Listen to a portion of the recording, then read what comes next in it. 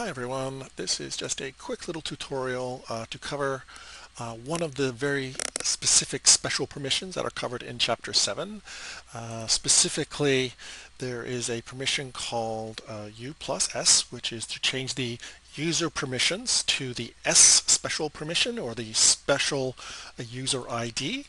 Uh, if you look in your text, the, the little table that describes the effects of the special permissions on files and directories, uh, describes the effect on files for the u plus s command or the suid uh, to be the file executes as the user that owns the file, not as the user that ran the file. And I've always found that a little bit confusing to uh, wrap my head around.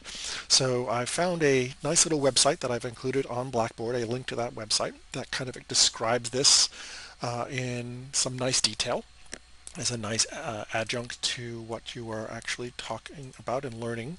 Um, so uh, let me just kind of walk you through exactly what is happening here when I when we talk about the effective running a command as the uh, effective user rather than the real user. So right now I am uh, the user practice on a machine called Galago, right? And I've just opened up two different terminal windows here uh, and I'm logged in as the user practice on both of them right? And as we know, as we've uh, seen in an earlier lab, uh, every user on their own account is permitted to change their own password. Um, at any time they like. You can put in your current password and then change it and that changes it effectively. So I'm just going to cancel out of there uh, and clear my screen. Uh, so that is a uh, an important powerful command that uh, normally only a super user or the user root should have access to because you do not want the average user to be going in there and changing the passwords for other people that live on the system. So let's have a look to see who owns this command password. Right, so we'll just do a nice list uh, using the long format uh, of the command password, which is located in the uh, directory path of usr slash usr slash bin slash passwd. Okay, and as you can see, the this command is owned by the user root and it is a member of the group root. And as you can see in the permissions the user permissions has been set to the S rather than the X uh, for execute. Right so this has been given a special user ID right? A special uh, circumstance.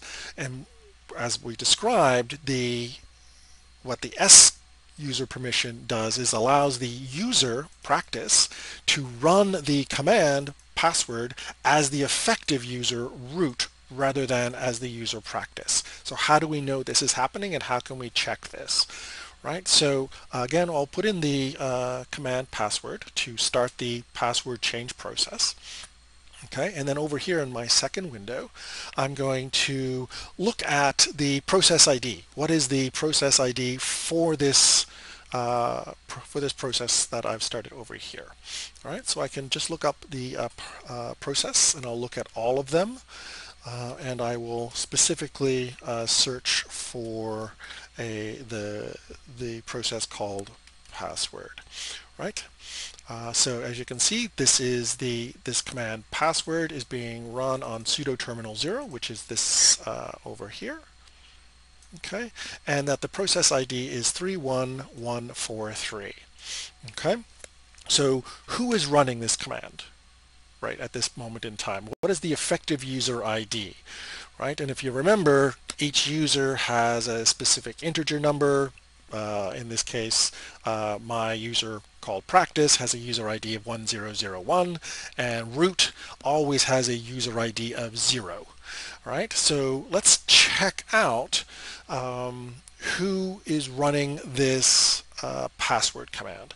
So again, we will use the ps command. We will modify it uh, slightly using a slightly different set of options. So we'll see every command and we'll change the output format so that we only see the process ID.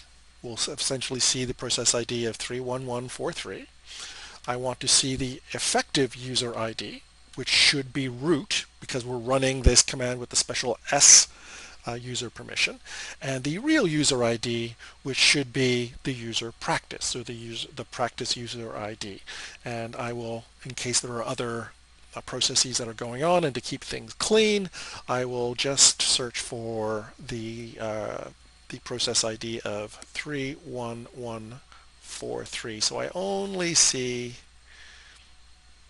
oops, that's some typos there.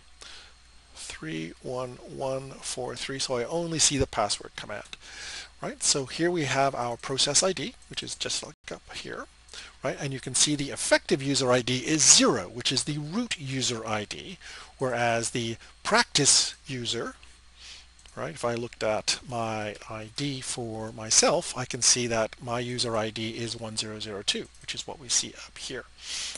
Okay, so although we are running the password command as practice without using the su command or the sudo command, uh, because that command password has the special user ID of S, it allows the user practice to run that command on their own account as if they were root. Even though they are not root, they are still their practice ID. So hopefully that kind of clears up exactly or makes a little bit clearer exactly what effective user IDs are, why we might want to use the special u plus s command under certain circumstances, and how that all plays out when running certain powerful commands like changing your password on a user account that you don't want to be applied to just any random person on the uh, system, but limit that to uh, the super user uh, ability to run that command.